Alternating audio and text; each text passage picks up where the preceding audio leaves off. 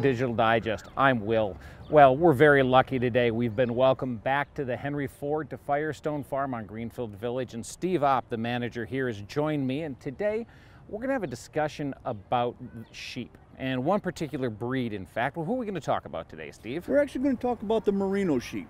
Because I think you're going to tell me that those merino sheep look a little different in the 19th century, whether 1880s like you guys portray or 1860s like we talk about, than the merino we know today. That is correct. The merino sheep have a lot of wrinkles in it, as well, they're kind of far back now, but they have a lot of wrinkles in them, and that was so they had more skin surface, so you could produce more wool.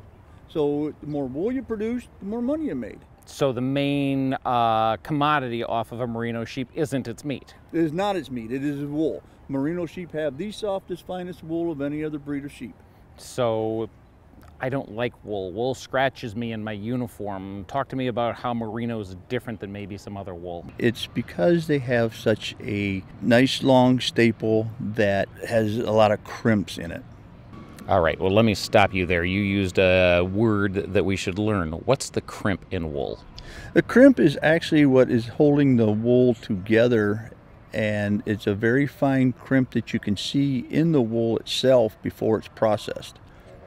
Great. Well, that's what a 19th century farmer might know. Let's take it forward to today. What are we looking at with modern technology? With modern technology, we are able to test the microns of the wool, and that is the diameter of each individual strand of wool.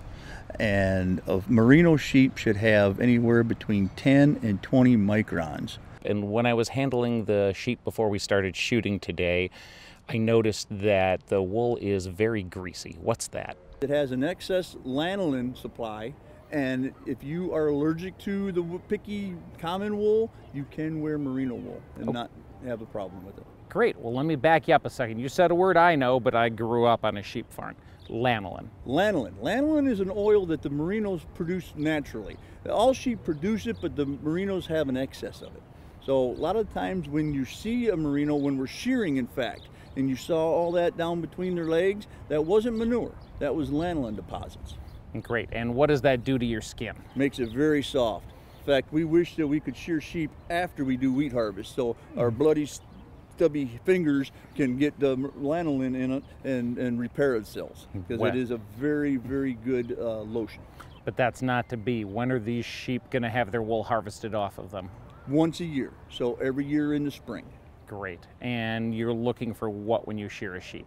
We're looking for the staple to be at least a two inch staple in that year and we would like it to come off in one piece. Okay, and again, a term that I know, let's help everybody at home. What's the staple? The staple is the fleece as you're taking it off and the length of it. Okay, so the how long that particular piece of fiber is. Correct. Well, Steve, talk to me a little bit about wool and the different grades of it during the Civil War. During the Civil War, it actually didn't really make a difference. But before that and after that, the virgin merino wool was from the yearlings first shearing. That was made into baby's undergarments, baby blankets, things like that that are going to really be soft on, on tender skin. And then your your uh, older wool, your older sheep are going to have like a suit of clothes, uh, a nice a nice woolen suit that you'd go to Sunday go to meeting in, things like that. But during the war itself, both sides needed all that wool they can get to make those uniforms. So we're just pulling it all in, carting it, it spinning in. it, and getting it sent out where it needs to go. Correct, exactly. And then after the war, do we go back to using the grades? Yes. Okay. Yep, we do. And as I said, the, the virgin merino wool is the softest wool you can get. And, and the, the merino wool is softer, but it, it gets a little more wiry with the age of the sheep and how many times you shear them.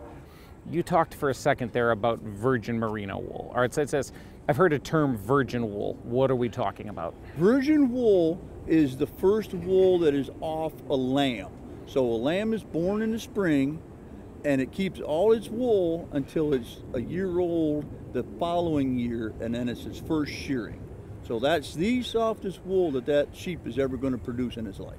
And incidentally, that lamb changes its name in the life of a sheep at that point, right? And, that turns it into a yearling then. And then we go to two-year-olds, and then after that we go to age sheep. And now, how old, how long will you harvest wool off a sheep for? as long as they'll produce it. And they produce it every year. They might start getting a little bit older. The ewes will produce uh, roughly 12 to 20 pounds. The rams will produce anywhere from 20 to 25 to 30 pounds. And the wethers, which are castrated rams, they have nothing else to do but produce wool. So the moms produce less because they're coming into season, they're producing the lamb, and then they're producing milk for that lamb. So their body's using the energy to do something else. Exactly. Exactly. And something else we need them to do on a farm. Exactly. We need to keep reproducing those lambs. Now, if I'm farming in the 1860s, can I get dual use out of these sheep? You can. They are they are a good meat producer. Um, they they're not as big as the sheep's call like like your Suffolks or your Hampshires, things like that. Your Oxfords that are specifically for meat breeds, but they do produce a nice a, a nice sized lamb. They're going to be around an 80 to 120 pound lamb, um, which is all right. But when you get into those bigger sheep, you're looking at 140 to 180 pounders. Wow. Okay, that's a good chunk different, but this animal could be dual use, It you say. dual use. Yep. Okay, great. Well, talk to me a little bit about wool in our era in the 1860s, if you can. the price of wool was at its height in the 1860s because of the Civil War. Both sides had woolen uniforms, so they had to keep them supplied. And so it was up around a dollar and a quarter a pound at that time. We didn't, when I was a kid in the 1990s, sell wool for a dollar and a quarter a pound. Nope. And common wool right now is only about 28 cents a pound. Wow, and when you say this is today's prices, I'll run the calculations and you'll see a number here on the bottom of the screen running what that wool price for the Civil War would be worth today. It's a lot more than that 28 cents a pound we can get now. Exactly, exactly. And now merino wool is actually coming back again with the home spinners and things like that. So the price when I checked it last Friday when we started shearing our sheep was actually a dollar eighty-two a pound. Okay, but that's today's That's dollars. today's dollar. And a dollar thirty then is going to be worth a lot more if you account for inflation all the way Exactly, through. Exactly. Well, fantastic. Well, you've got a dual use animal and some really pretty animals, but they're really wrinkly. They are really wrinkly. And we've taken, why have we taken that out of sheep today? We've taken that out of the sheep because we use electric clippers now. And it's very hard to navigate those wrinkles with the electric clippers. So what they've done is they've bred those wrinkles out. But here at Firestone Farm, we've spent the last 35 years breeding them back in. So with a lot of selective breeding, a lot of back breeding, and a lot of inbreeding, we've bred those wrinkles back in. Okay, well, you used a term there. Selective breeding, that's something any farmer is going to do. He's going to pick his best and try to put the best ram with the best ewe. Correct. Inbreeding, well, any of us who've told a joke is going to know what that is. Exactly. What is back breeding? Back breeding is taking basically your selective breeding also is, is taking your, your most wrinkly ram and breeding it to your most wrinkly ewe.